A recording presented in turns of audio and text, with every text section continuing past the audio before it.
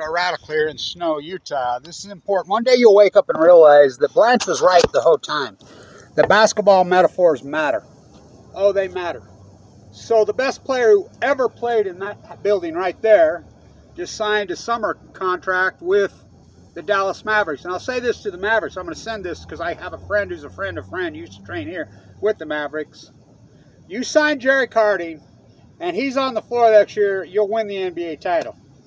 You get him a, her name is Luka, who's on the second floor. Look out. So basketball metaphors matter. And I want to say this, the Weber State Athletic Department, one word, one word for the last 20 years, 22 years, pathetic, pathetic, pathetic.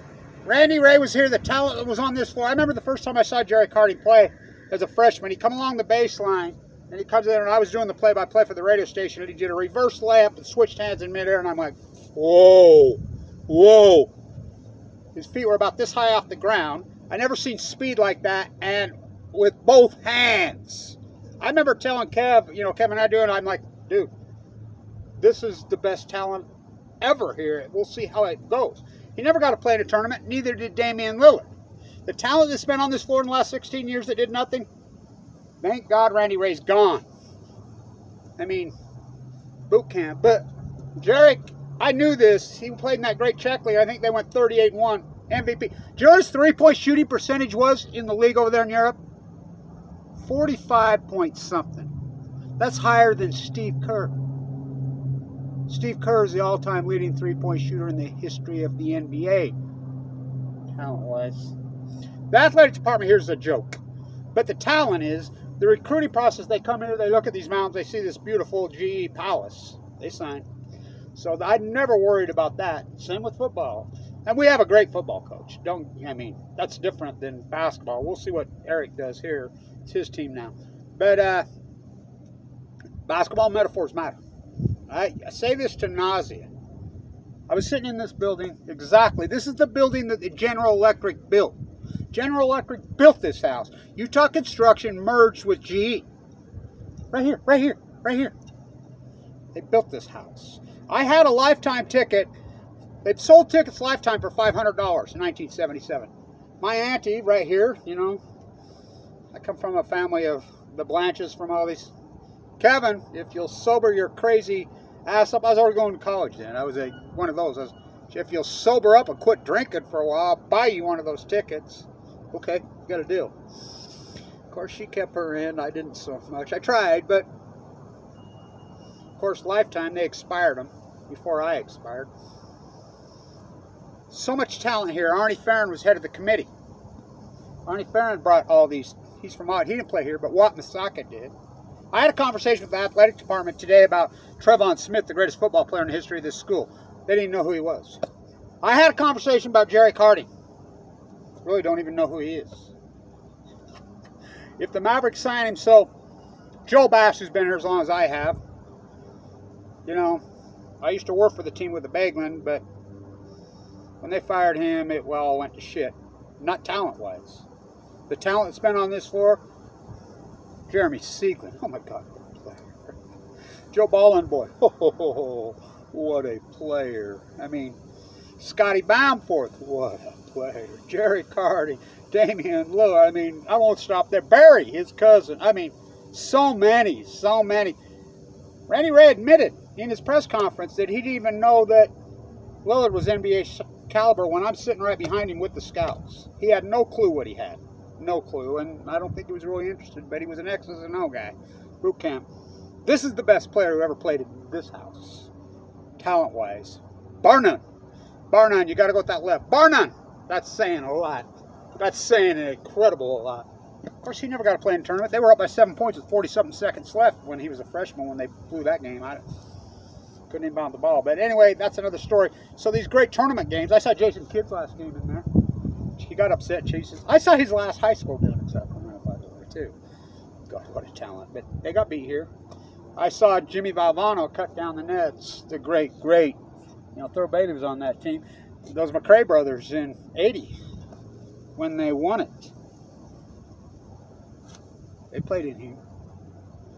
I mean, I saw so many great games because Arnie Ferrin was head of the committee. his NBA rings. He's odd. The athletic department here doesn't even know who these people are, has no clue. Because it, they're, well, none of them are from here. And it's pathetic, is actually what it is. So, I want to get this out there. Basketball metaphors matter. One of, they have a, there's a legendary training program here because of Joe Bash. Lots of trainers around the NBA, lots of trainers around. One of the trainers that trained for Kobe Bryant used to train here. When I used to work for Coach Baglin, the great Ruben Nembhard. what a player. Oh my God, what a player. Jimmy DeGrafty, the great, great, the best coach they ever had here, Ron Baglin. That's saying a lot, Dick Motta. Phil Johnson. People could argue. I, I, you know, if you argue with me about a Baglin or Johnson, I could flip flop. You know, the great Neil McCarthy. But Phil never got his chance, did he? Because Sloan wouldn't get his ass off the field. If Phil Johnson was coaching with Stockton and Malone, they'd have three or four rings. You know, it reminds me of Gobert and Donovan. They traded Gobert. You know, they got a hell of a deal. I mean, what they got for him, but they traded around one hell of a player. Donovan Mitchell, who I know because I'm from New York, I flew. Go ask him. I flew on the plane from New York to Utah with him. Don't feed the lion, he told me. Their lover spat they got going is pathetic. By the way, if you're going to get rid of one, I would have got rid of the other. So I think the Jazz are going to have, well, they got a young guy they're going to rebuild. Well, they got the trade to rebuild with, you know. Danny Ainge, huh? I watched Danny Ainge end his career in there. He got his ass kicked, but you know he did go all the way down the court in that game against Notre Dame. But so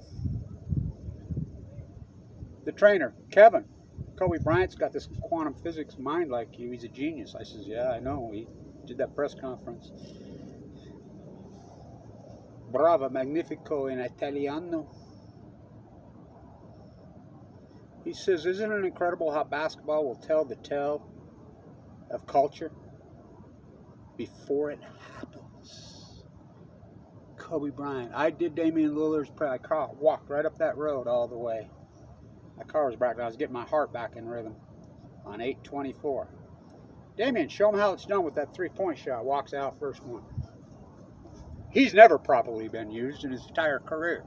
Not with the dirtbag Trailblazers, surely not here. If he was ever properly used, but he's, you know, he reached his peak. I don't know, but been there for a while. March 10th, exactly to the second before the Fukushima disaster the year before. Play by play. The guys doing the play by play for Montana basketball on their radio station, I'm with them at halftime. We're out. What? This game's over. As soon as this first half started, we was up by 23. They boldly wanted to beat a snowstorm. Anthony Johnson never missed a field goal or a free throw the entire second half. It was later never did it before, never did after. I had an out-of-body experience. I grew up right here, right here. It's always been rumored this is an ancient Shoshone burial ground. Natives played basketball. He didn't invent it in Canada with his peach basket. Natives played basketball right here for at least 18,000 years. That's an unarguable fact. Indigenous people played basketball.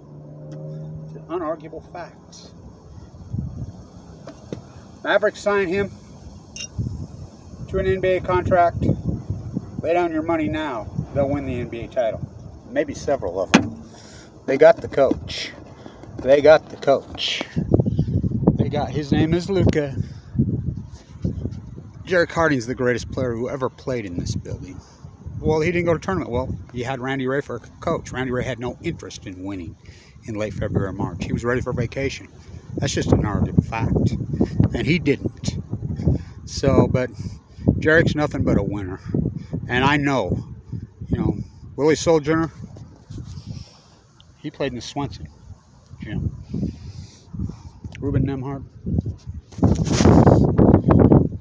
Harold Arceneaux, the show. The great, great, great Eddie Gill. Those are players. Jerrick Harding's the greatest talent I ever saw in here. Signing Mavericks. Signing. Stand tuned.